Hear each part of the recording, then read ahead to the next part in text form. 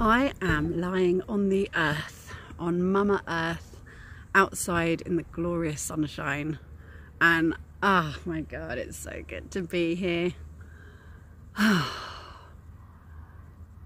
it's noisy. I can hear mankind getting going again. The sound of people. There's people coming now everywhere you go. Like I'm just trying to have a little chilled out time without fucking human beings around. And there's people everywhere, which is really irritating yeah, there's just too many of us, really, isn't there?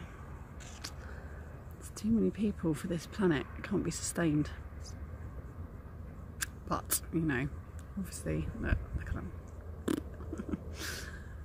but obviously, everyone's life is valued and of value. But it'd be really good if people stopped having kids. Yeah, so I wanted to talk to you quickly about um, fertility um, my goddess archetype is Aphrodite, goddess of fertility. And so it was quite a big thing to deal with to not be able to have children. Um, and, uh, you know, it just sort of went against everything that I am. Uh, but, oh my god, during lockdown I've been so pleased that I don't have kids. Oh, it's such a blessing in many ways as well, and I love everyone else's kids and I get to give them back. And there are too many people in the world, so I feel quite righteous about the fact that I'm not having children.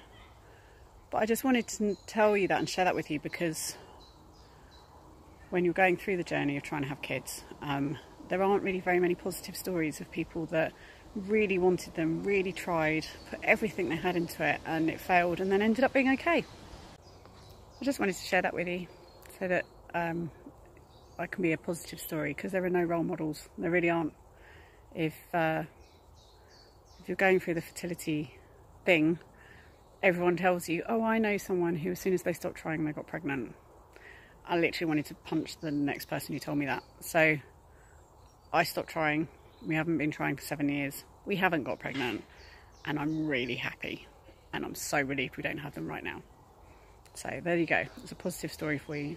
And Aphrodite was my archetype.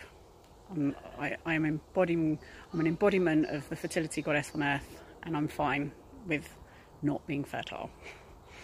So there you go.